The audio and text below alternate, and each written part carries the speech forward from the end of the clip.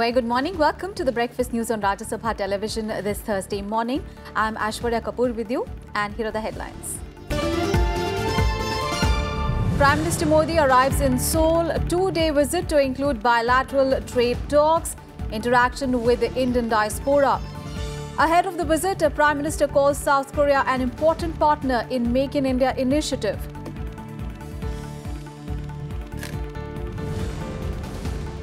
Saudi Crown Prince Salman pledges all support against terror, including a UN ban on Masood Azhar. Agreements on 100 billion, 100 billion dollars investment in India, release of uh, 850 Indian prisoners from Saudi jails, increase in quota for Indian Hajj pilgrims to 2 lakh.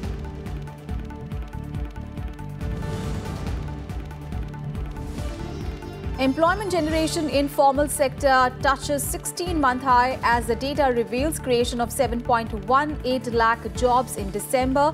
Over 72 lakh new subscribers added to EPFO social security schemes in the last quarter of 2018. In its meeting today, EPFO likely to announce interest rate of 8.55% on PF deposits for 2018-19.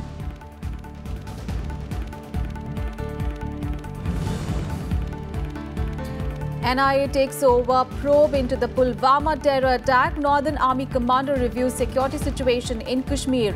Security of 18 separatists and 155 political leaders withdrawn in the valley. And in the wake of the Pulwama attack, BCCI likely to ask International Cricket Council to keep Pakistan out of World Cup for harboring terrorists.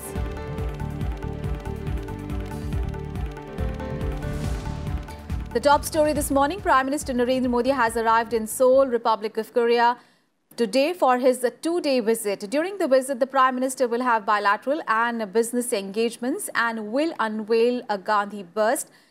His itinerary on the first day of the visit includes an address to the Indian-Korea Business Symposium and the inauguration of Indian-Korea Startup Hub. The Prime Minister will also interact with the Indian diaspora in the country that number around 11,000 though it will be a very short visit, barely 30 hours, but there is a packed program with a number of engagements scheduled with the Korean leadership, businesses, and other stakeholders. The two leaders will make brief remarks to the media following their meeting. Prime Minister will then be hosted to an official banquet in the Blue House by President Moon.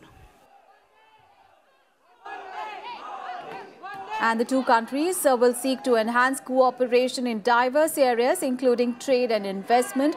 The MEA said the visit will strengthen special strategic partnership with South Korea and add dynamism to our Look East policy. Prime Minister Modi will hold a bilateral summit on Friday with the South Korean President Moon Jae-in on uh, various relevant issues to the regional and global stability. The discussions will include the POSCO steel uh, plant in Odisha, that had been stalled due to protests. And at the end of his visit, the Prime Minister will be presented the Seoul Peace Prize by an independent foundation for his role in enriching relations between Asian nations and charting a new path in maintaining Asia-Pacific trade and power balance. All right, we have with us our colleague Akhilesh Suman joining us uh, from Seoul in South Korea. Akhilesh, a very important visit by Prime Minister Narendra Modi. Of course, it is a very short visit, but uh, of course, his itinerary is totally packed today. And the MEA says that this visit would uh, strengthen India's special strategic partnership with South Korea.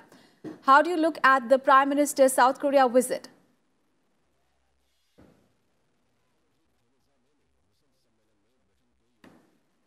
You know, really, this is the time, you know, if you remember that uh, uh, Koreans are going to talk with, again, uh, you know, President Donald Trump, uh, the North Koreans, uh, North Koreans uh, president will be meeting Donald Trump uh, very soon.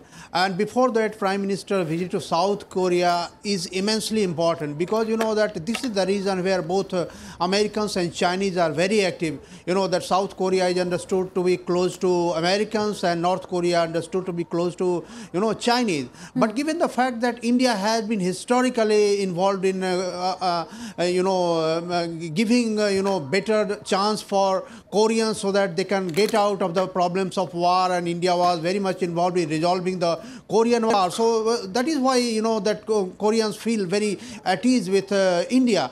And Prime Minister Narendra Modi is going also at a time when, you know, uh, the investment opportunity is in India has increased. And South Koreans are feeling that, you know, India can be a better destination for them uh, uh, in comparison to Chinese because wages are also increasing in China and, you know, wages are also increasing uh, in South Korea. So India is a better destination from they, for them, uh, they are feeling. And that is why this is the second visit of uh, Prime Minister Narendra Modi to Seoul. And also this is the second summit uh, with uh, President Moon Jae-in. And I think that in this talk, they are going to talk uh, about a better opportunity for trade and investment. And also, uh, you know, um, forming very close relationship as far as strategic are concerned in the changing world situation where America is very actively trying to involve uh, in Asia Pacific matters and India is also one of the major players and Americans have been telling that India and ASEAN also wants that India should be actively involved in Indo-Pacific region. So I think this visit is going to be very important as far as, uh, you know. Absolutely. And, uh, you know, uh, uh, uh in fact, ahead of his visit, in fact, the Prime Minister has also described South Korea as a very important partner for India's initiatives like Make in India. And he has also talked about the fact that the two nations, you know, uh, both are fellow democracies and they share, uh, uh, you know, common values and vision for regional and global peace.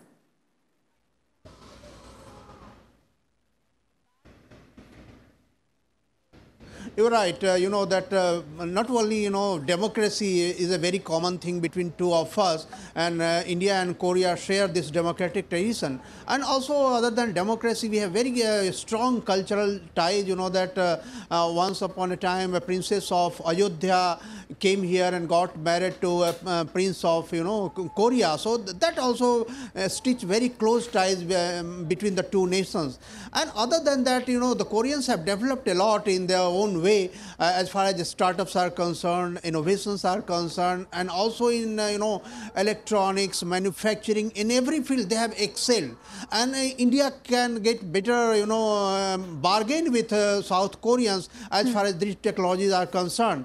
And I'm going to tell you, you know, as far as that uh, in this visit, I think Prime Minister Narendra Modi and President Moon Jae-in are also going to do some uh, Make in India initiative in defense sector because the Koreans feel that they can contribute to India's, you know, defense sector by making in India and also by making some uh, arrangement for technology transfer. Other than that, South Koreans uh, are interested in you know, space technology because India is considered to be very good in space technology and mm. Koreans are interested in getting a space technology. So there can be a very deep collaboration between ISRO and Korean Space agencies. So I think right. this is, you know, a win-win situation. Uh, there is a strong point of Koreans and there are strong points of India also. India in, uh, has a uh, very good influence in, among many stakeholders uh, in the world and Koreans are having very big expertise in many of the manufacturing technology. So I think uh, this visit uh, will give us something new both to both Indians and Koreans. Aswarya. Absolutely. So Prime Minister Narendra Modi is in South Korea on the invitation of President Moon Jae-in and this will be his uh, second visit to the Republic of Korea and the second summit meeting with President Moon. Thank you so much, Akhilesh, for all those updates there from Seoul. Uh, I will keep coming back to you in the subsequent bulletins for more on that story. On to the other big story, Saudi Arabia will invest $100 billion in India in range of areas including energy, refining, petrochemicals, infrastructure, agriculture and manufacturing. Briefing media, Secretary Economic Relations in the Ministry of External Affairs, uh, T.S. Uh, Tirumurti, said that it is a clear reflection of the confidence of South Korea in the vibrancy of the Indian economy and the tremendous opportunities available in India for investment. Both sides agreed to set up a strategic partnership council which will be guided by Prime Minister and the Crown Prince and have ministerial representation covering all aspects of our bilateral relations. This is an extremely important development in line with the desire of Saudi Arabia to deepen partnership with eight strategic partners, one of whom is India. The Prime Minister welcomed the announcement of His Royal Highness, the Crown Prince, to invest US dollars 100 billion in India in a range of areas like energy, refining, petrochemicals, infrastructure, agriculture, manufacturing, etc. The MEA also added that India also raised the matter of Indian prisoners lodged in Saudi Arabian jails and received a positive response on the matter from the Saudi side. The MEA said that Crown Prince of Saudi Arabia has ordered the release of 850 Indian prisoners who have been lodged in various Saudi jails. Besides this, the uh, the Saudi Arabia has also announced the increase in uh, quota for Indian Hajj pilgrims to 2 lakh at the request of India. The MEA also added the Prime Minister and Crown Prince Mohammed bin Salman underlined the importance of comprehensive sanctioning of terrorists and terror organizations by the United Nations. Saudi Arabia have decided to increase the quota for Hajj pilgrims from India to 2 lakhs this gesture was deeply appreciated. India has also decided to extend e-visa facilities to Saudi nationals. Issue of prisoners was discussed. And uh, uh, the reaction uh, from the Saudi side was a positive reaction. But at this point of time, we are working through this. But it was very much taken up. And meanwhile, on Wednesday, uh, Saudi Prince Salman held extensive talks with Prime Minister Narendra Modi and backed India's fight against terrorism. Both the nations also signed five agreements. Here are all the details.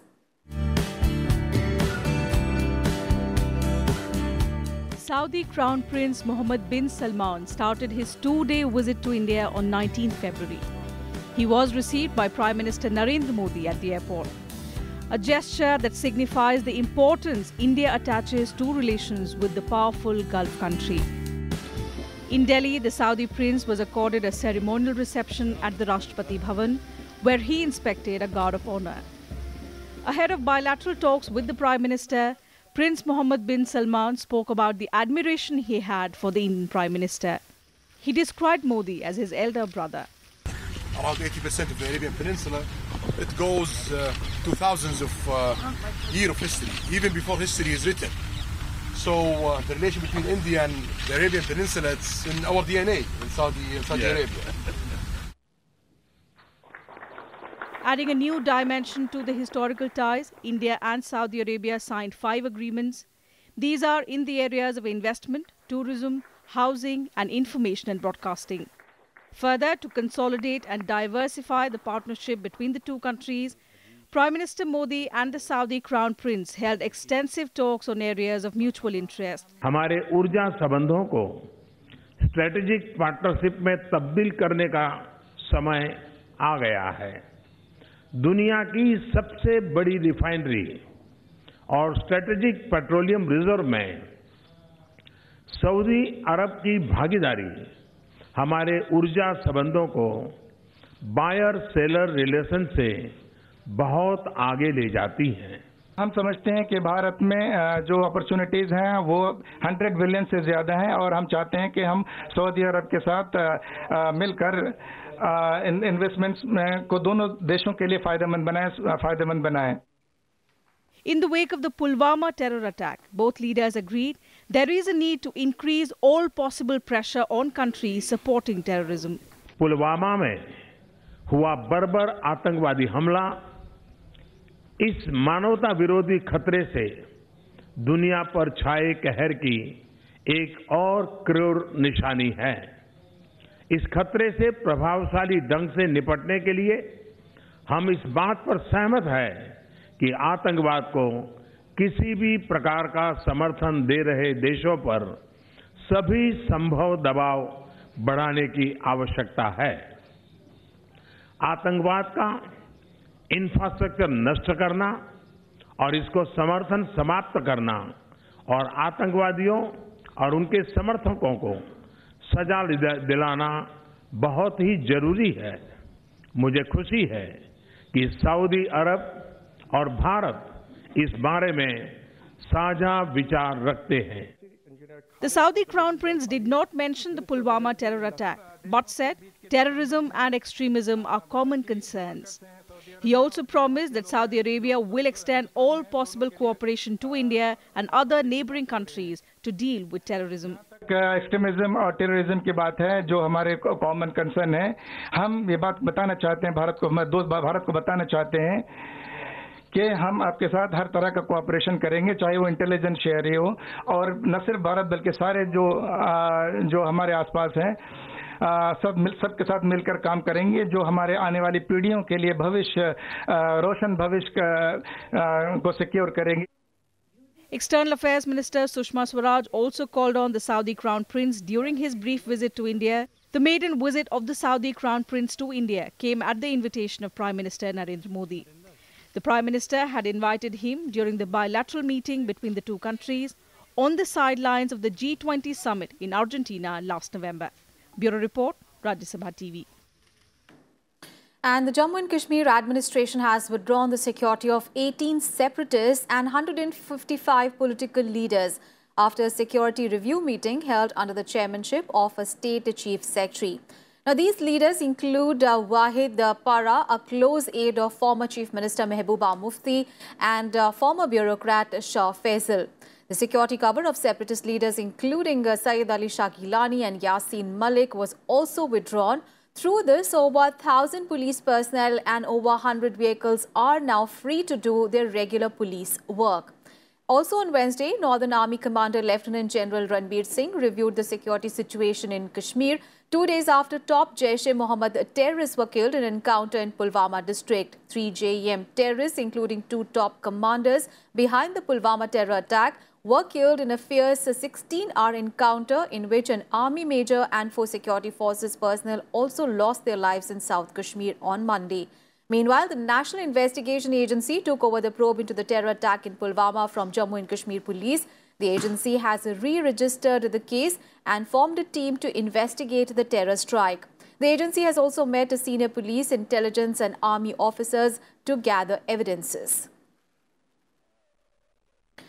On to some other news now. India on Wednesday urged the International Court of uh, Justice uh, or the ICJ to annul Kulbhushan Jadhav's death sentence and ensure his safe passage to India. Making a final submission in the ICJ on the third day of the hearing, Deepak Mittal, Joint Secretary in the Ministry of External Affairs, requested the ICJ judges to direct a trial under normal laws before civilian courts with full consular access to Jadhav. India requested the top UN court to declare that Pakistan acted in breach of Article 36 of the Vienna Convention and failed to inform Jadhav of his rights and declined consular access to him. India also strongly objected to the abusive language uh, used by Pakistan's counsel in the Jadhav case at the ICJ, urging the UN court to draw a red line. The Pakistan now will also get uh, 90 minutes to respond to India's arguments today. The ICJ is expected to deliver its verdict in the summer of this year. Takes exception to being addressed in this fashion in an international court. Beyond saying this, I would let the matter rest, for I do not, and the Indian culture prevents me from indulging in similar language of invectives and insults. India believes we have a strong case and so we have, sir, as the saying is, hammered the facts and hammered the law. As the old lawyer saying goes, when you're strong on the law, you hammer the law. If you're strong on the facts, you hammer the facts. And when you have neither on your side, you hammer the table. Bereft of a case, Pakistan has hammered the proverbial table. On to some other news, employment generation in the formal sector almost trebled to reach a 16-month high of 7.16 lakh in December last year as compared to 2.37 lakh in the year-ago month, according to the latest EPFO payroll data. Now, as per the data, around 72.32 lakh new subscribers were also added to the social security schemes of the Employees Provident Fund organization from September 2017 to December 2018, indicating that these many jobs were created in the last 16 months. Meanwhile, the EPFO is likely to announce uh, an interest rate of 8.55% on the PF deposits for 2018-19, same as provided in 2017-18 to its uh, 6 crore subscribers. The minimum pension paid is also likely to be raised from 1,000 rupees per month to 2,000 rupees per month. To some political news. Days after BJP and AIADMK alliance in Tamil Nadu, Congress on Thursday announced an alliance with the DMK in the state. The Congress will contest on nine seats in Tamil Nadu and one in Puducherry in the Lok Sabha polls this year. There are a total of 39 Lok Sabha constituencies in Tamil Nadu and one in Puducherry. The announcement was made by DMK President M.K. Stalin at the DMK party headquarters in the presence of Congress General Secretary in charge of Tamil Nadu, Mukul Wasnik, K.C. Venugopal and other senior leaders. DMK President M.K. Stalin said that the Congress constituencies will be announced after discussion with the other allies, including MDMK, CPI, CPIML and VCK. In the 2014 general elections, both the DMK and the Congress, who broke their alliance ahead of the elections, had not won a single seat. The agreement comes a day after the ruling AIADMK stitched an alliance with the BJP and PMK, allotting them five and seven Lok Sabha seats in the state respectively. Congress is going to contest 10 seats including Pondicherry. Of course, the country, the country is very much needed this alliance. You know, the entire country is disappointed with the Narendra Modi government last five years. What he has been promised to the people of the country, nothing has been fulfilled. And the Goods and Services Tax Council has uh, deferred a decision on tax rates on real estate and lottery till 24th of February.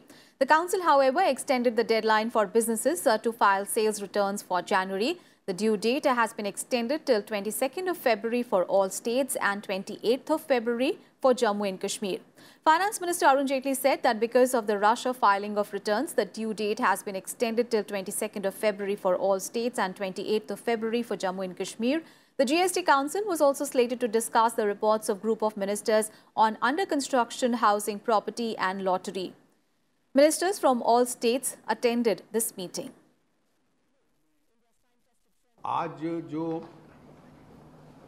Three B की returns है उसका last date है। आ, देश भर में उसको जो returns आ रही हैं जिस स्पीड पे और हर घंटे में हज़ारों की संख्या में आती है एक एक दिनों में लाखों की संख्या में आती हैं तो उस डेट को काउंसिल का सुझाव था कि दो दिन के लिए और एक्सटेंड कर दिया जाए 22 तारीख मिडनाइट तक। जम्मू कश्मीर में क्योंकि कुछ एरियाज़ में डिस्टरबेंस है तो उसको 28 फरवरी तक एक्सटेंड कर दिया गया है And the Supreme Court on Wednesday fixed 26th of February as the next date of hearing in Ayodhya's Ram Janmabhoomi Babri Masjid land dispute matter. It will be heard by a five-judge constitution bench headed by Chief Justice Ranjan Gogoi. On 27th of January, the Apex Court had cancelled the scheduled hearing for 29th of January as one of the five judges of the Constitution bench was not available on that day. The bench will now hear the appeals against the 2010 Allahabad High Court judgment that said that the 2.77 acre land in Ayodhya be partitioned equally among three parties, namely the Sunni Waqf Board, the Nirmohi Akhada and Ramlalla. Sports news now. Afghanistan will host Ireland for a full series starting with the T20s from today at the Doon Sports Club in Dehradun. The series uh, comprises of three T20 internationals, five one-day internationals and a test match. The test match will be Ireland's first overseas uh, test game and second for both uh, the newest teams at highest level after ICC awarded full membership to both the nations last year. The first T20 will start at 6.30 pm today, while the second and the third will be played on 23rd and 24th of uh, February respectively at the same venue. And in the wake of the Pulwama terror attack, a Board of Control for Cricket in India, or the BCCI, is planning to write to the International Cricket Council, or the ICC, to keep Pakistan out of the World Cup. According to reports, a committee of administrators uh, chairman Vinod Rai has asked BCCI CEO Rahul Johri to write a letter to the ICC asking for Pakistan be kept out of the Cricket World Cup. Rai asked Johri to write a letter to keep the Pakistani side out of the World Cup for continuing to harbour terrorists. Rahul Johri would uh, be representing BCCI at the ICC quarterly meeting, which starts from 27th of February, with the COA possibly meeting on Friday to discuss the matter further. And with that, we wrap up this edition of Breakfast News. Thanks for watching. Have a great day ahead.